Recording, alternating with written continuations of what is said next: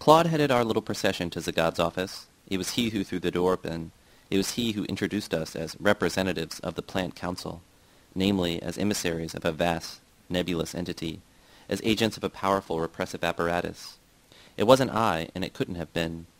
I would have knocked on Zagad's door, entered sheepishly and hesitantly. I would have begun to implement our strategy by saying, Good morning, Mr. Zagad, and my admirable plan would have vanished the moment Zagad had said, Good morning, Yarostan. What can I do for you? I'm not the hero you've bothered to remember for two decades, Sophia. My thoughts weren't on Zagad, but on Louisa. I was proud of our action because I was sure she would be pleased. I thought I had redeemed myself in her eyes, and in Titus's as well. And I was terribly confused. Had I redeemed myself to Louisa as a politically conscious activist, or as a lover? Such a separation hadn't existed before the strike. Suddenly there wasn't only a separation, but it seemed unbridgeable. I would be trusted by Titus and Louisa, but I would no longer be loved by Louisa. All this occurred to me only after Zagad left his office. Until then I had been carried away by everyone's enthusiasm, especially Sabina's. When Claude, Jan, and I had elected ourselves to implement my strategy, Sabina had jumped up to join us. On the way to Zagad's office, Jan and I had walked, or rather danced, behind Claude, with Sabina between us, her arms around our waists, ours around her waist. This will make everything possible, she'd kept saying, filling my head with images of a world where everything would be possible, everywhere and at any time. Jan and I had lifted Sabina and flown her up the steps to Zagad's office. Suddenly Zagad had gone, and so were my images. Sabina's arm left my waist, and I was alone. How I envied Jan that moment.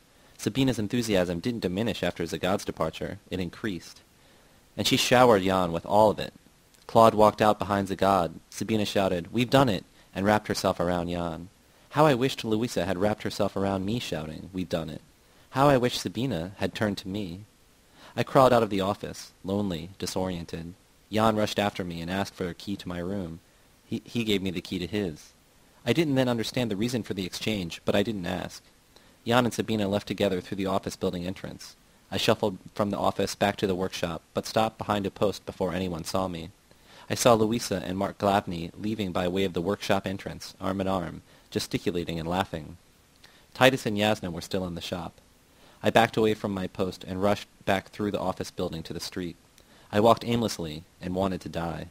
I had proved myself for nothing, to no one. All my explanations had been wrong. Louisa hadn't dropped me because of my backwardness, nor because she'd wanted to be detached, but because she'd found another lover. Titus hadn't scolded me because I'd taken Louisa from him. Only then did it dawn on me that just before Titus's outburst, during our meeting, I had laughed and nodded vigorously when Jan had proposed throwing all the machinery into the street as our first revolutionary act. How stupid I'd been to attribute Titus's outburst to jealousy. My sympathy for Jan's scheme defined me as an outright quote, counter-revolutionary in Titus's eyes, since for Titus the machinery was the revolution. The two were synonyms. So that's when you turned to Sophia, Myrna concludes prematurely. Not yet, Myrna. That's when I met you. And you were disappointed, she says all too accurately. You'd hoped you'd find another Louisa. Did you know that already then, I ask. If I had, I wouldn't have cared. I had my own passions to worry about, she says. I spent the night in Jan's room, but I couldn't sleep. I remember why, but I'd rather skip over it. Early the next morning I crawled back to my room. Sabina let me in. I wanted only to be left alone, to sleep. But Jan and Sabina were wide awake, and they had other plans for me. I had known since I'd first met Jan that he had hated his mother. I was soon to learn why. Sabina nestled up to me and told me, We're going to spend the day in the country. I told her to have a good time and let me sleep. You're not going to sleep today, she assured me, poking me in the ribs to keep me from trying. Jan and Sabina lifted me out of bed and forced strong coffee down my throat. We can't go without you, Jan explained. The revolution is going to spread to the peasantry, and your contribution is going to be indispensable. I was awake. You're needed to cement the great worker-peasant alliance, he continued. Brushing aside my objections, he went on. You don't have to harangue anyone. You don't have to organize anything. All you have to do is make love to the queen of the peasants. A woman slightly older than Louisa, but less experienced. That single act on your part will destroy religion and morality, the family, and the state. That single act will set the fires of hell to all the peasantry's precious traditions, all their sacred bonds. Tomorrow peasants, leaving their burning villages, will mingle with workers, leaving their burning factories, and they'll all migrate across fields and over mountains, fulfilling every wish, satisfying every desire, and every whim on the way. Myrna laughs. Did Jan really tell you that? And did you actually come looking for a, quote, woman slightly older than Louisa but less experienced? I obviously don't remember his exact words, but I swear what he said was very close to that. And I believed him. I actually thought he and Sabina felt sorry for me and intended to introduce me to someone like Louisa. That's marvelous, she exclaims. Now I remember why he had us all go picking berries. Why didn't you go through with it? Don't you see how right he was? All hell would have broken loose in a single instant, instead of cracking a little this year, a little the next, and again the next over such an endless expanse of time. I didn't think it was marvelous at the time, and I still don't think so. I think Jan and Sabina had devised a mean trick. Jan knew that the mere mention of Louisa's name would set me moving. He dangled Louisa in front of me during two tram rides and a substantial walk. We reached his house he introduced me to his father, mother, and sister. I looked for the nearest chair. I had a splitting headache and felt like vomiting. I hadn't gone without sleep for so long during the entire war and resistance. A headache, Jan said. Well, isn't that too bad? You won't be able to join us on our berry-picking expedition. I got up in spite of my headache and my nausea. I didn't want to miss my promised rendezvous. Oh no, you can't go in that condition, Jan insisted. You stay right here in the house, where my mother can nurse you. Then he whispered, She's a real queen, Yarostan. Every bit as regal as the queen of heaven, and as pure as the mother of her Lord, Jesus Christ. I vomited. Jan and his father helped me to the couch. Myrna and her mother cleaned up the mess. Then Jan left with his father, Sabina, and Myrna. I was alone in the house with the queen of the peasants. She brought me a wet cloth for my head and crossed herself when she handed it to me. Some time later she handed me a newly dampened cloth and crossed herself again. She crossed herself every time she entered the front room to look in at me. She was deathly afraid of me. She seemed convinced I was either a thief or a murderer who had just escaped from prison. At one time she tiptoed through the room I was in and went to another room where she wailed prayers. I hated myself for having let myself be tricked into leaving my comfortable room in bed. I was nearly unconscious with pain when the berry pickers returned, and I was nauseated. I had no interest in eating the meal the queen of the peasants had spent the day preparing. Jan, Myrna, and Sabina put me to bed in Jan's room, or rather the guest room, since Jan explained. They call it my room, although I haven't spent a single night in it. You're the first person in this bed. My mother started building that room onto the house two years earlier, Myrna explains. Until then, Jan and I had always slept in the same room and in the same bed. One day she came into our room before we were up and saw us sleeping with our arms around each other. She saw us sleeping the way we'd always slept as far back as I could remember, and she yanked both of us out of bed and beat us with a broom, calling us the names of all the devils in hell. Jan left. I never shared a bed with him again. I cried for weeks. I hated her until she died. Then I understood why she beat us. So that was why Jan wanted to help me destroy religion and morality, the family, and the peasant community. I suspected this at the time, from much that Jan had told me, from much that he had done. Two years earlier, Myrna had been eight, namely the same age as Tina when you watched over her in her bedroom. You described yourself as Tina's apprentice. You considered her old enough to teach you lathe turning, machining. But that's your problem. In any case, I didn't think about it that night or the following night or during any of the hectic days before our arrest. And in time I forgot why Jan had invited me to meet his family. While they carried me to bed, Sabina angrily whispered in my ear, Coward, counter-revolutionary, everything depended on you, and you spoiled it all. I was too sick to respond. I woke up once during the night. My head was bursting. Jan was sound asleep next to me. The next time I awoke it was morning. Jan was shaking me. Come on, let's get out of here. When I sat up, he added, Planned revolutions inevitably fail. Isn't that their very nature? But our trip wasn't a total failure. Anxious to keep the blessed young virgin out of Beelzebub's paws, Mother Superior placed the virgin directly into Satan's. Jan left the room laughing victoriously. Understanding nothing, I dressed hurriedly and rushed out of the room and then onto the street. I couldn't believe what I saw and heard. Myrna's mother stood near the doorway, grasping a broom, which she kept trying to raise, but which Myrna's father kept, kept lowering. She was screeching at Sabina. You'll roast in hell, you shameless gutter snipe. You'll burn for all eternity. Sabina, her back arched like a cat's, stood right in front of the woman and shouted just as loudly. You'll freeze where you're going, you dried-up carcass, you vampire that sucks life out of the living because there's none left in you. What happened that night? I asked Myrna. She brought my brother's destruction, Myrna says bitterly. My father's death, my mother's. I mean that night, Myrna, I interrupt impatiently. Would you rather forget? Doesn't this letter tell you what happened? How could I ever forget? My mother was right. Sabina put the devil's blood into my veins. The hypocrite. For twenty years I thought she'd done it for me. But the fiend has no kindness, no heart. Her deeds are for herself alone. Your brother loves you, she told me. You're his only girl, she told me. And then she asked, would you like me to pretend to be your brother? I begged her to pretend, and I lost myself pretending. I drowned in happiness pretending.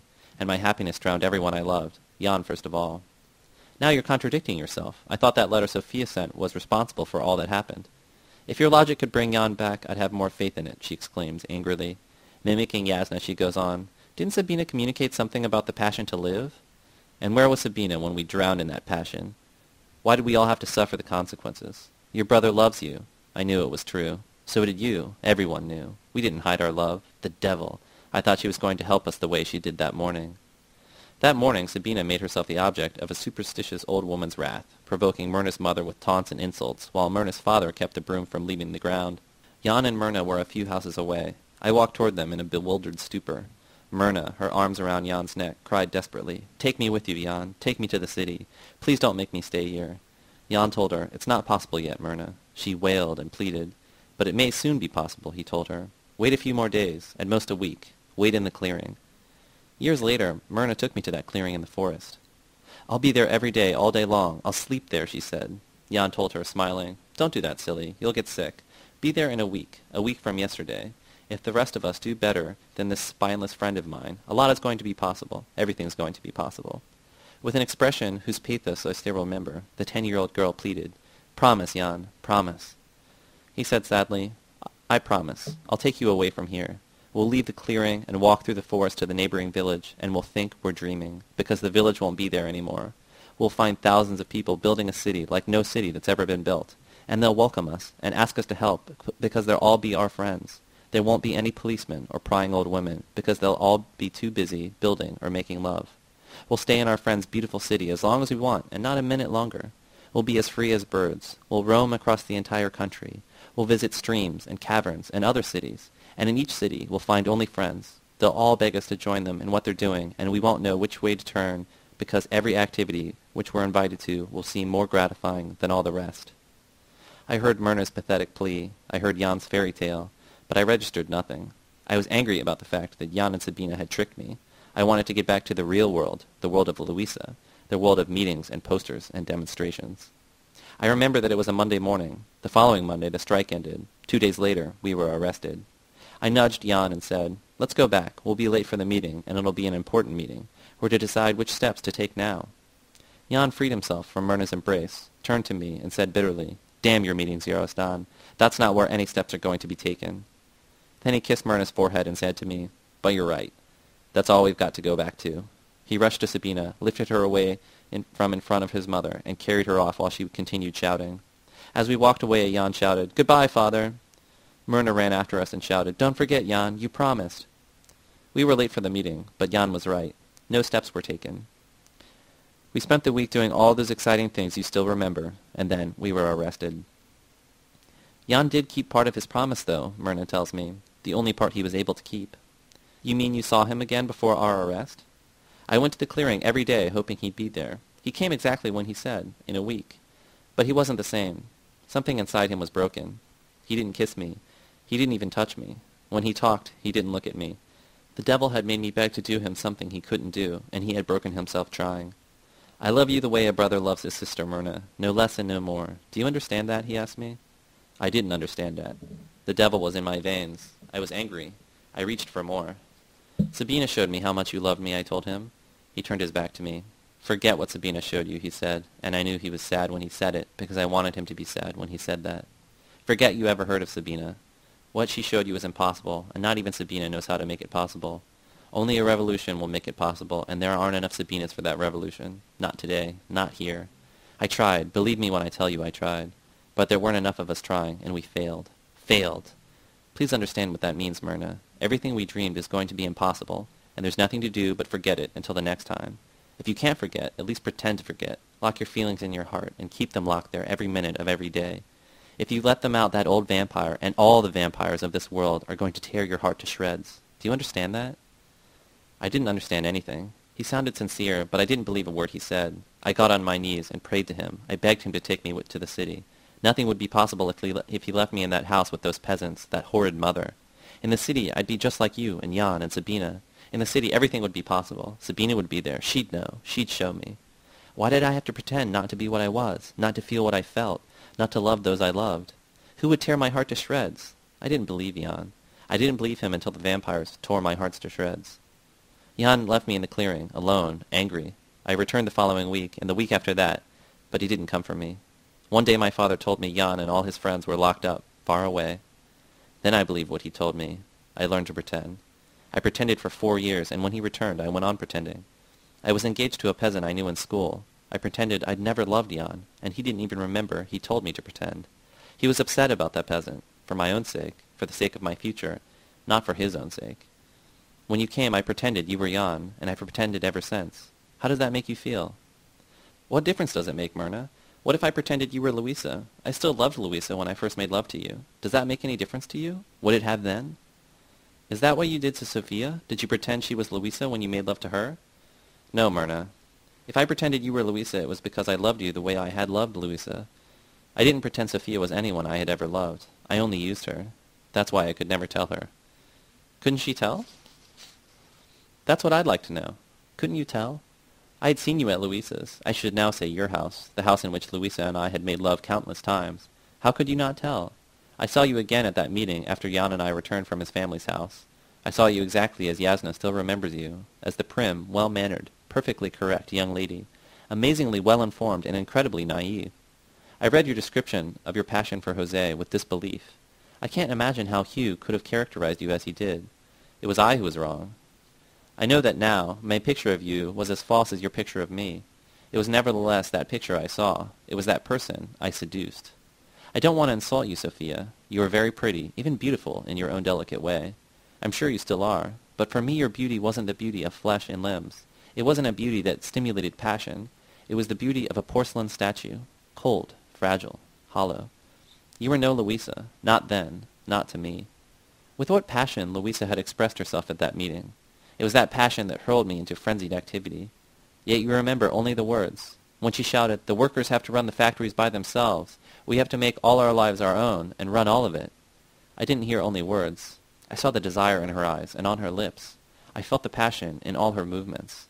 That's why I agreed with Louisa, while simultaneously agreeing with Jan. Their words seemed to contradict each other, but I thought their passions were identical. Louisa talked of running the factories, Jan of burning them, but both communicated the same thought to me, the thought of a life we've dared only to dream, and only those of us who've dared to dream. What I felt and heard had to do with willful, passionate human beings whose biographies were to consist of realized desires, and not of paid instructions, whose factory aisles, if they must have factories, were to be carpeted with the mattresses Sabina described to you. That's why I worked with passion to put Louisa's slogans on posters and on walls, inside other factories. Those slogans were all I retained of Louisa's love. After the meeting she kissed Mark Glavny on his lips and walked away with her arm around him. It was only then I turned to you, Sophia. That was when I asked if you wanted to help me print posters. That was when I gave you a tour of the plant and rode with you the following day distributing posters. It wasn't love or passion or desire that drove me to you, Sophia, but only frustration and resentment. You tell me that my caresses didn't equal Jose's, yet you loved me. Couldn't you draw your conclusions? The only desire I felt towards you was the desire to take a porcelain statue in my arms and shatter it to splinters. Yet you responded to every request I made with the same polite, Yes, Yarostan, it would please me very much. When we returned to the plant after distributing our posters, I asked if you'd like to spend the night with me in the plant. Yes, Yarostan, it would please me very much.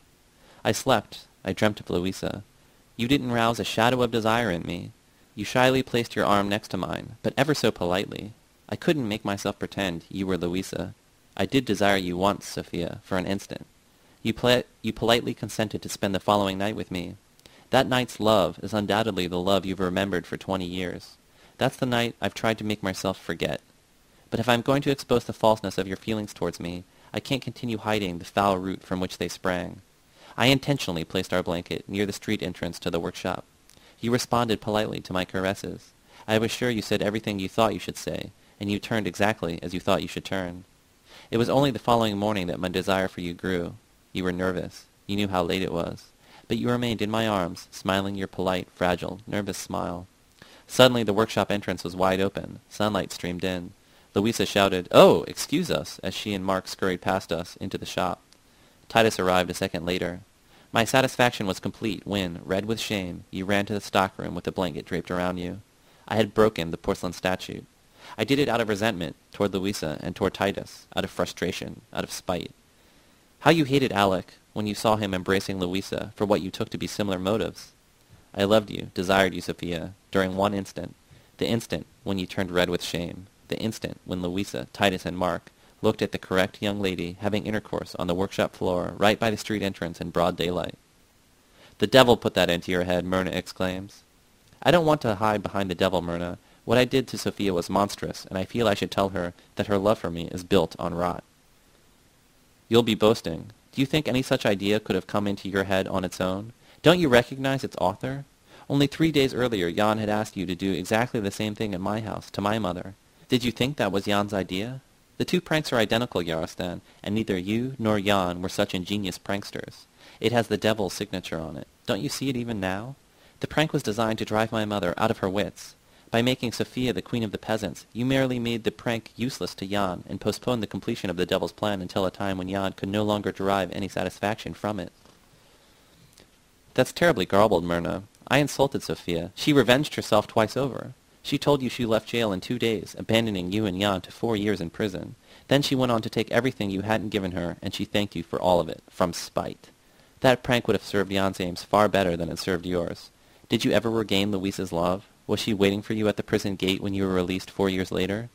Yet you still loved Louisa then. It's you I feel sorry for, not Sophia. The three of them took twelve years of, from your life and the heart out of mine, yet you're groveling, apologizing. I'm sorry, Sophia, for having played your sister's prank on you.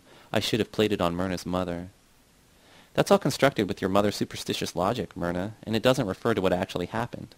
No, I didn't regain Louisa's love. Yes, I did love her, long after that. But that has nothing to do with the fact that the police arrested us and... Why were you and Jan arrested? Tell me that. Tell me why the three of them were released two days later. Did they try to release their comrades when they were out? Tell me that. I can't tell Myrna that. I don't know why. Myrna's superstitious analysis is garbled, but her questions are perfectly clear, and they raise more problems than I'm willing to face.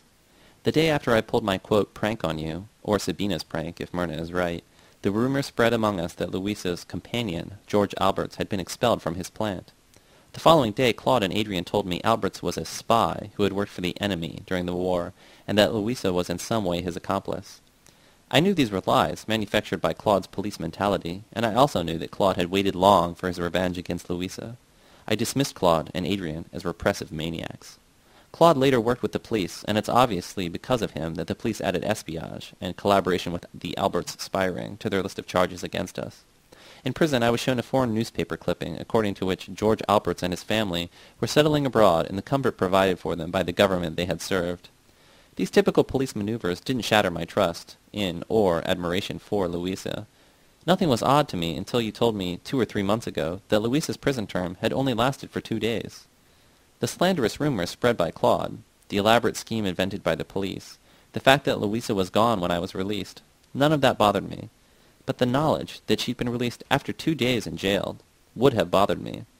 I knew the police regularly bungled their own elaborately concocted schemes by giving shorter terms to those they designated ringleaders than to those they designated mere accomplices. But I couldn't have made myself believe that they had bungled so far as to release the entire, quote, center of the ring after only two days while leaving the accomplices locked up for four years. I didn't even believe the clipping I'd been shown in prison. The day I was released, I went directly to Luisa's house.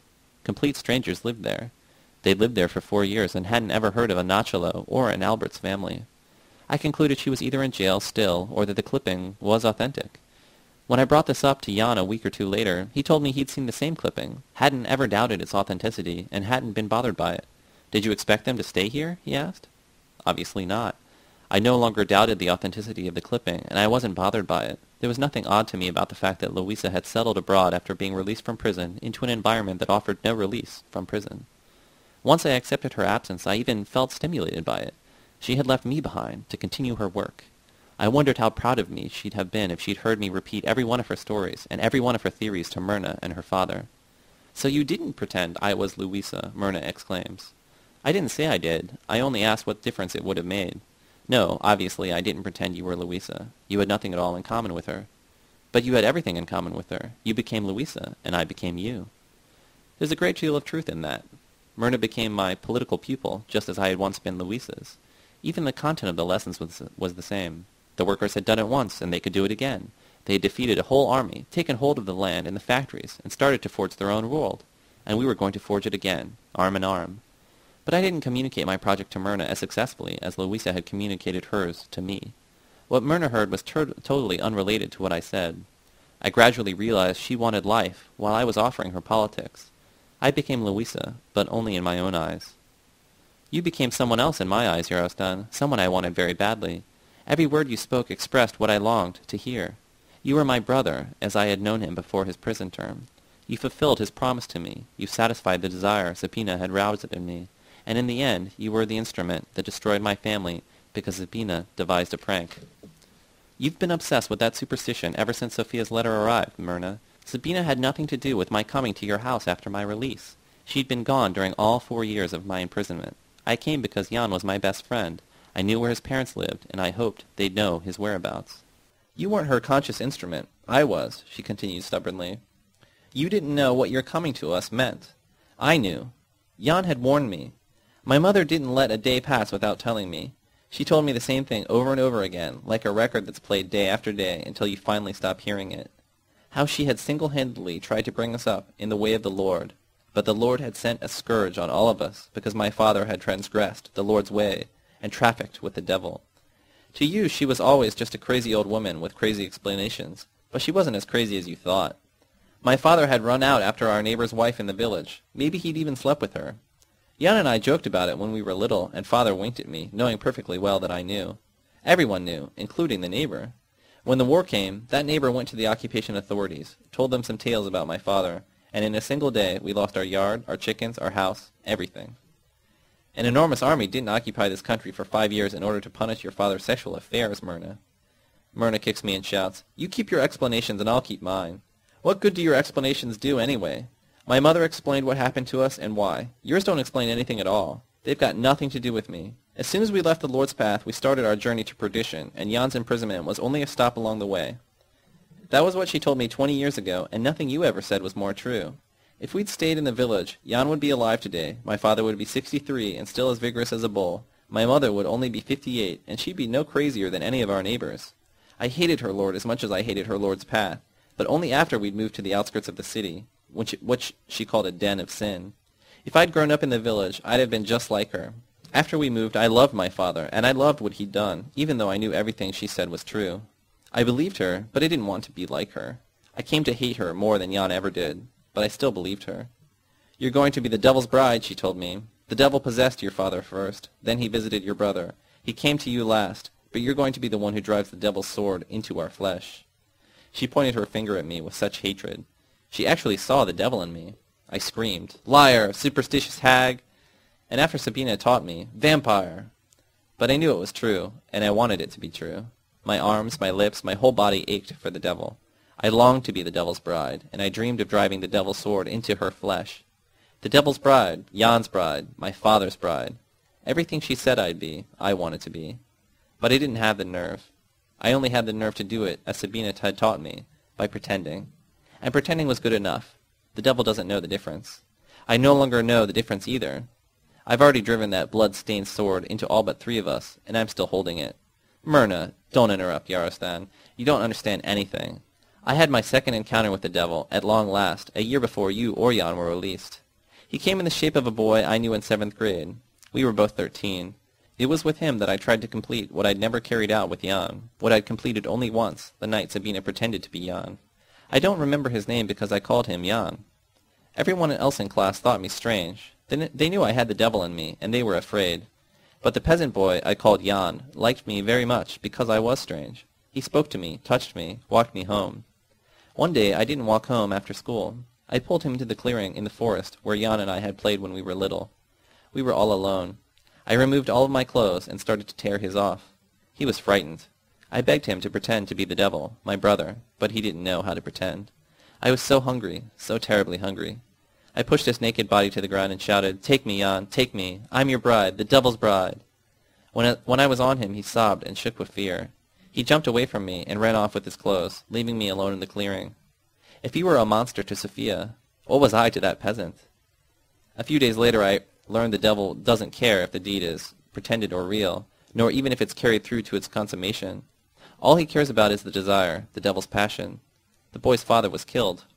The fathers of several other students in my class were arrested. They had all worked in a neighboring town where there had been a confrontation with the police. The day I had taken the boy to the clearing, a strike had broken out. It wasn't just a strike. It was Jan's strike. What those workers wanted was the revolution, the world where everything would be possible. And they were all arrested, every last one of them. Some were killed. My peasant's father had only worked there for a month. I heard about that rising during my first term. The fact that it broke out when you were having your affair was a coincidence, Myrna, a trivial coincidence. Those workers had tried. My whole life's meaning is built out of such coincidences, Myrna snaps, then proceeds to silence me definitively. Marbles experience coincidences, Yarostan. People experience meanings. Do you know the difference? I knew what I had done, and so did the boy. He was terrified. Death itself couldn't have frightened him more than what I did. He avoided me as if I carried the plague, not because of what I had done to him in the clearing, but because of what we had both done to his father. If he were here now, I'd make you ask him. His fear made me afraid, afraid of myself, afraid of that devil's sword my mother had already seen in my hand. For the rest of that year I tried hard to be like everyone else. But I had communicated to the peasant. Don't you see she was right? Once you step ever so briefly into the devil's path, you'll never ever leave it, no matter how hard you try. He had stepped into it, only for an instant, but by the end of the year the same passion started to burn in him. He spoke to me again. He walked me home. He had learned to pretend. He pretended we weren't responsible for what happened to his father. One day he pushed me against a wall in a dark corner and asked me to marry him.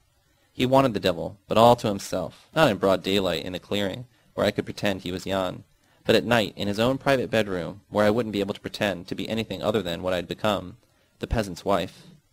I consented. He spoke to my parents, and arrangements were made. We were to be married at the end of the school year. His older sister was going to be married at the same time, which meant he'd take charge of what they called their farm. They raised a few chickens, some vegetables, and supplied our street with milk from their three cows. Those cows are as close as I ever got to the sheep you think I herded. On one of my visits, his sister showed me how to milk them, to prepare me for the chores I'd be doing until I died. A month later, Jan returned, completely changed. He didn't look the same or act the same. He wasn't only older, he was broken. And I had broken him. I pretended that I loved my peasant, that I'd never loved Jan, that I'd never learned anything from Sabina, that the devil didn't flow in my veins, that I liked to milk cows. We didn't speak to each other in the house. We never went out together, and we slept in separate rooms with both our doors closed.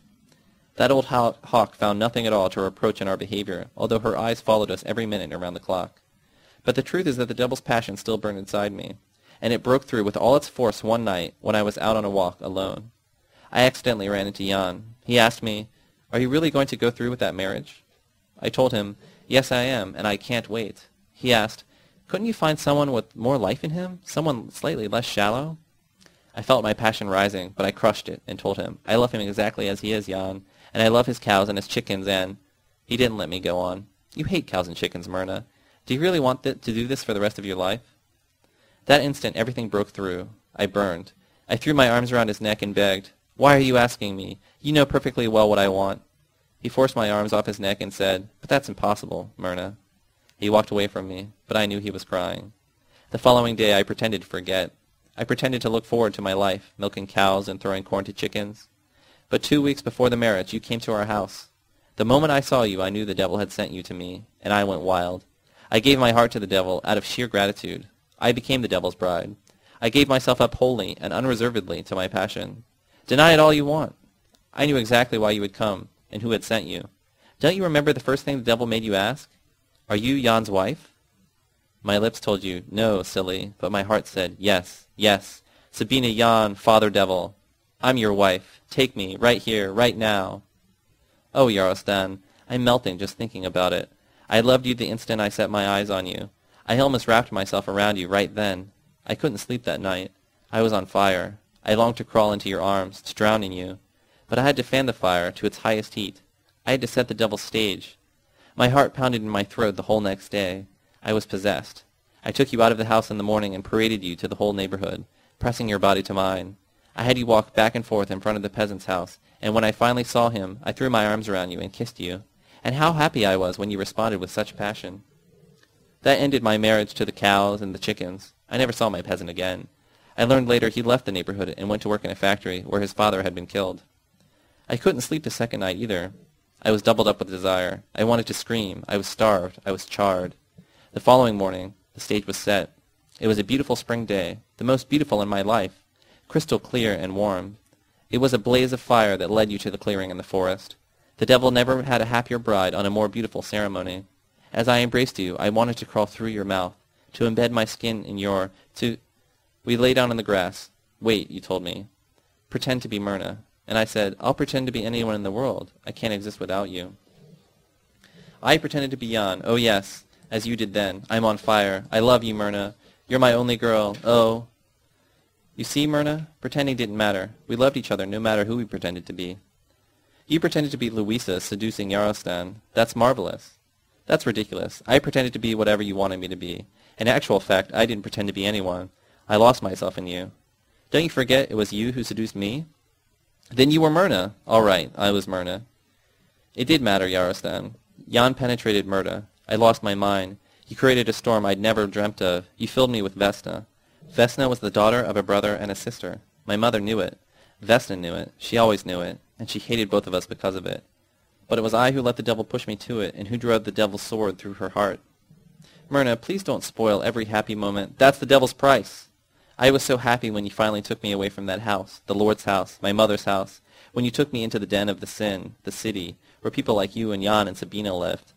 Yes, I wanted curtains and a baby carriage and clothes that made me like everyone else in the city, that made me look and feel different from my mother. And I wanted more, much more. I wanted to find that world Jan had promised, the real den of sin, the devil city, where everything I desired would be possible.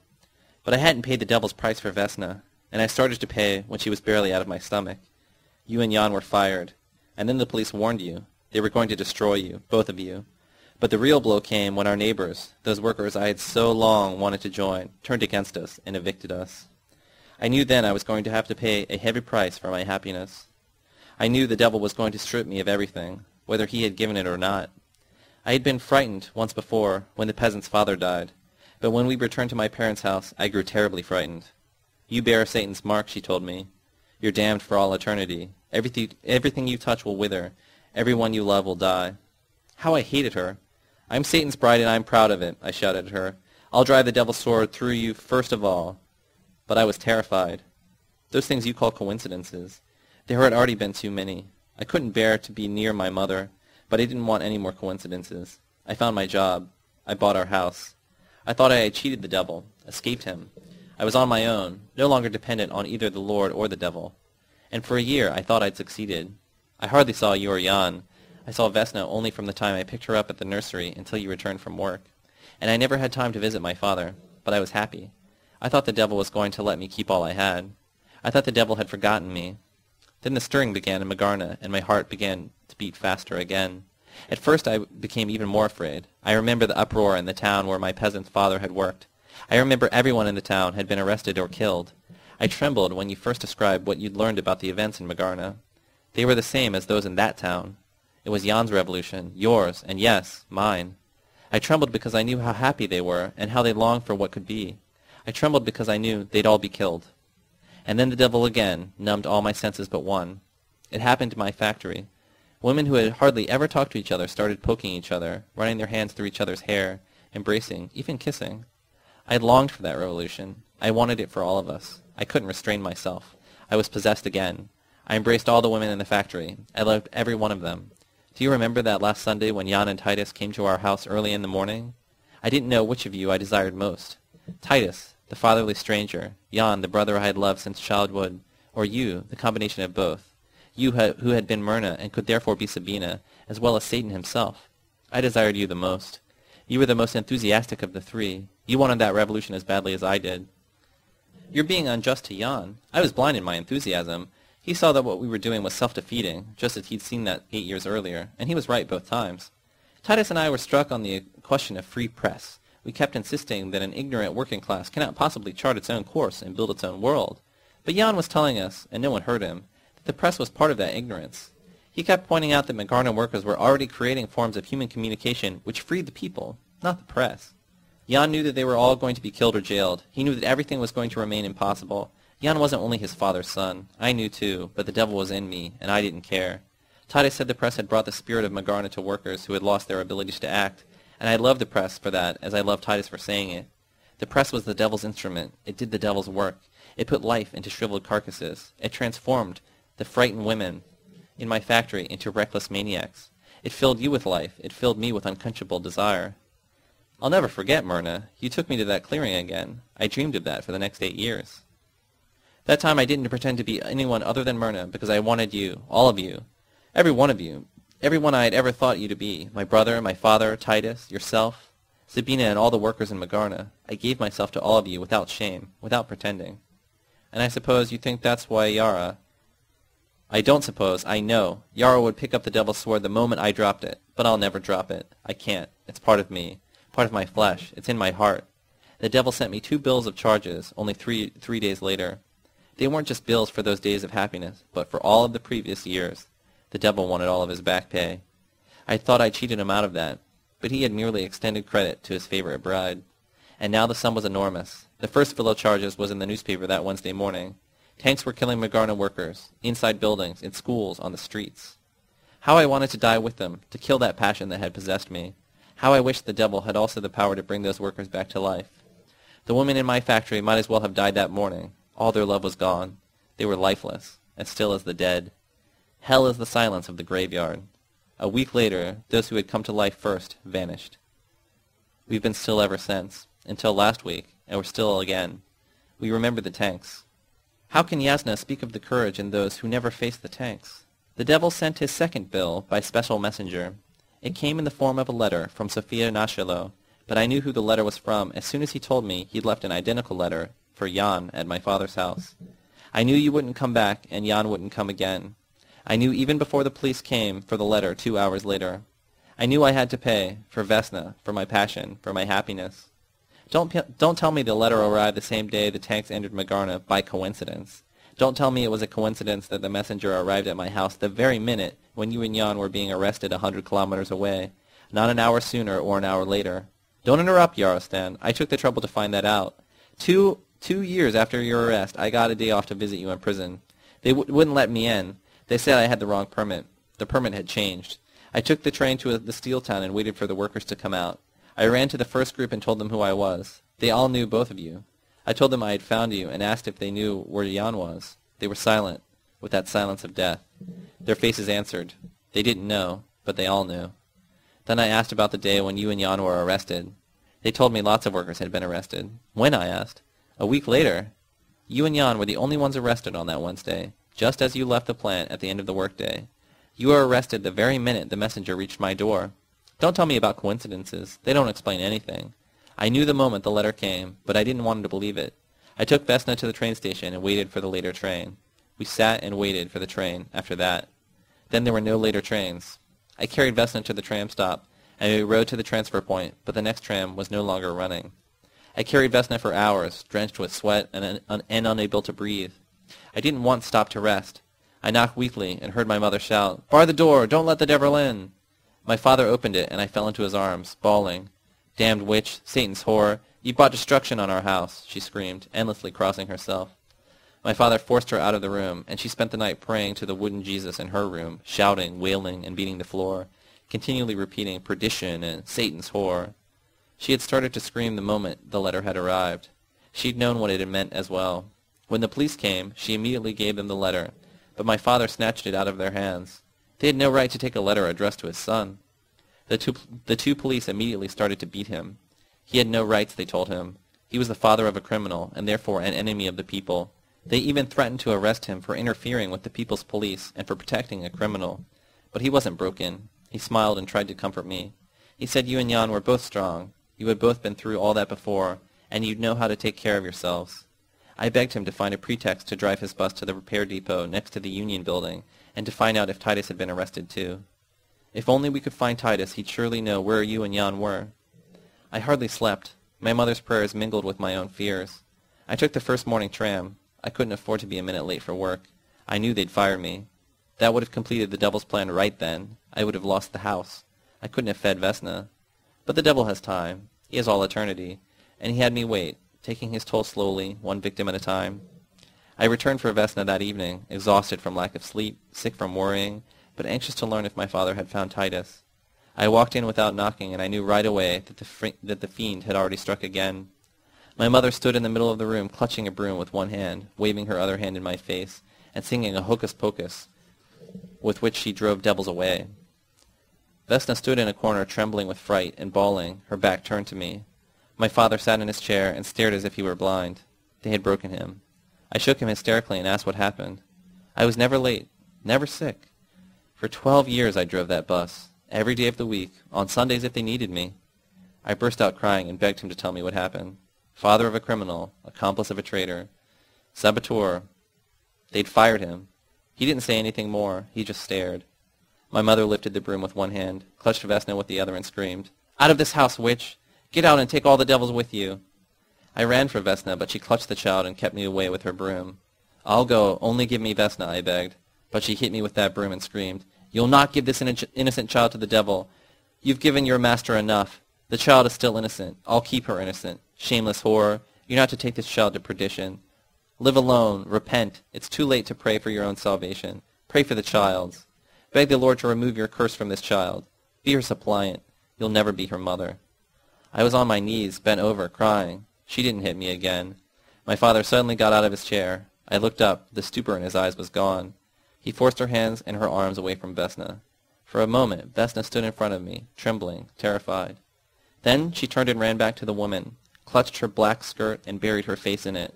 My father picked her up as I rushed to the door. He handed Vesna to me. Tears streamed down his withered, wrinkled cheeks. I ran to the tram stop, hurting from Vesna's kicks, deafened by her screams. She was only two and a half, but she already had a will of her own. I carried her off against her will. I knew what the consequence would be. But I had to have Vesna. She was mine. She was all that was left to me of my love, my desire, my passion. Do you know what time it is? Why didn't you tell me sooner? she exclaims angrily. I'll be late for work. It was Thursday morning. That night I had started this letter. I hadn't known Myrna's father had been fired from his bus driving job. When Titus visited me in prison, I learned he was ill, and when Myrna visited me later, three years after my ar- arrest, I learned he had died. It's Saturday night now. I'm tired, and I don't have anything more to tell you. Yara is to return from her outing late next week. I haven't seen Yasna since she left our house crying Wednesday evening. When I started this letter, I wanted to get to the root of your feelings toward me. I wanted to make it clear to you that I would not have been comfortable in that community of journalists which you imagined me, that I felt more kinship with Ted and Tissy, and that the world which seem so exotic to you. But I'm falling asleep. Yarostan.